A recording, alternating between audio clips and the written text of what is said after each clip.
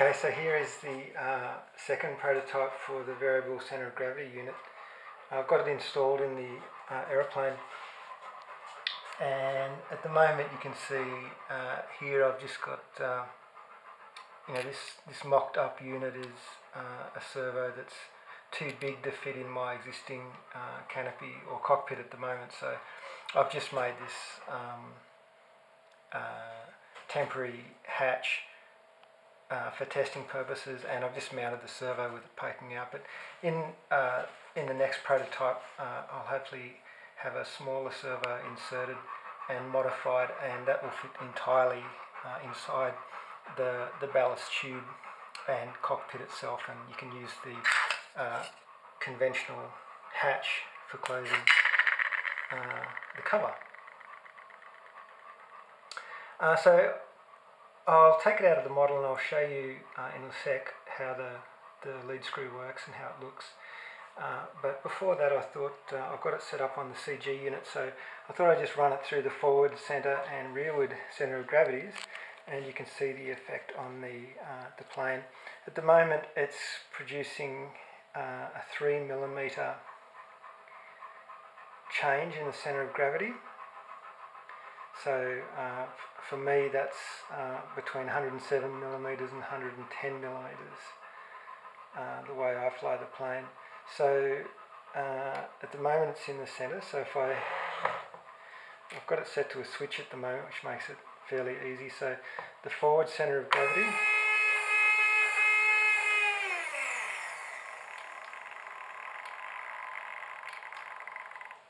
so that would be 107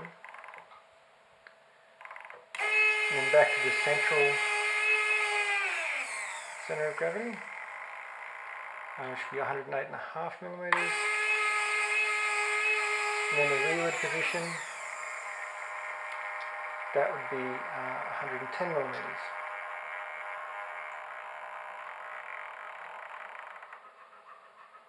And this could also be uh, obviously connected to a slider or, um, or mixed to your camber if if that's what uh, how you want it to fly. But for the moment, for testing purposes, I just need to get it in the air and be able to move it between the center of gravity without it mixed into any uh, any other function, just so I can gather some some empirical uh, evidence on uh, on how it's actually affecting the flight performance of the aeroplane and uh, whether it's uh, going to be a, a, useful thing or not.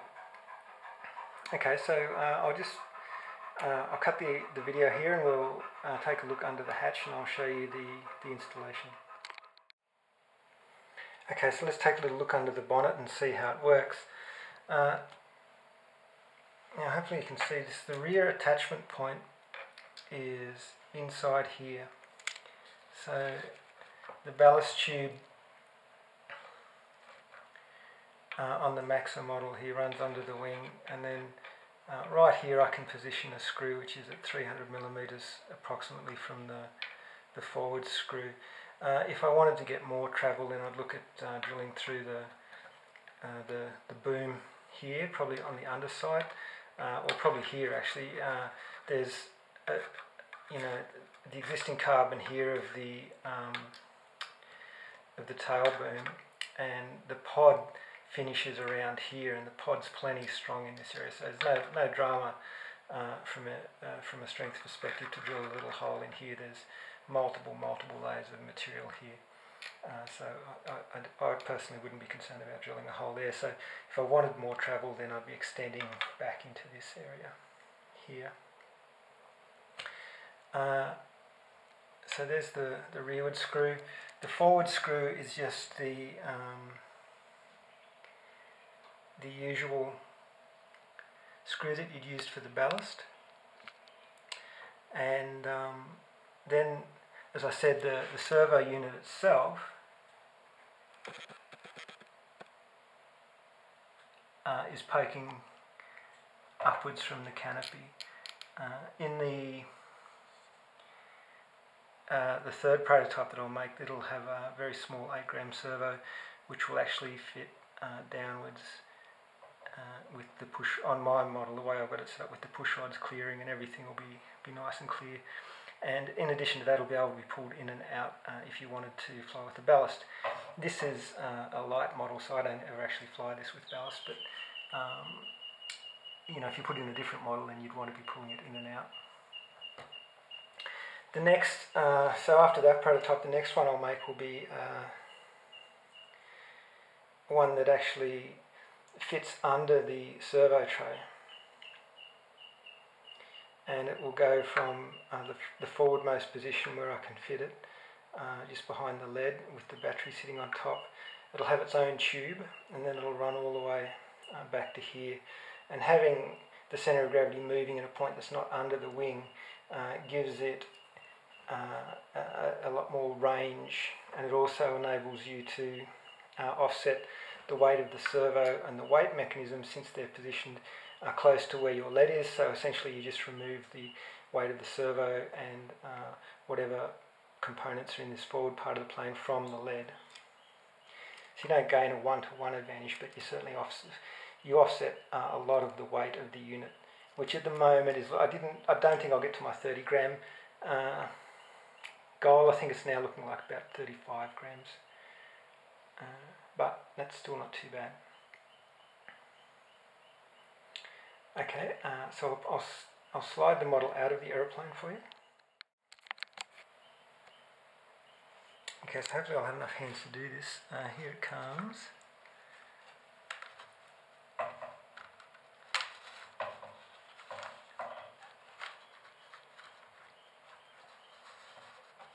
Uh, I've got a wire wrapped around something there. See if I can remove that. Oh, there we go. Uh, this is the new lead screw that I, I've just finished machining. Uh, there's the weight and now the, uh, we switched it off with the weight in the rearmost position so that's the, uh, the lead screw in the unit there.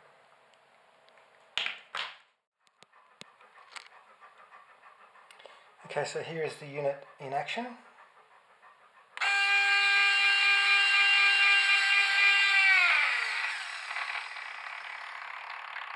This is the central, central uh, point of, of gravity.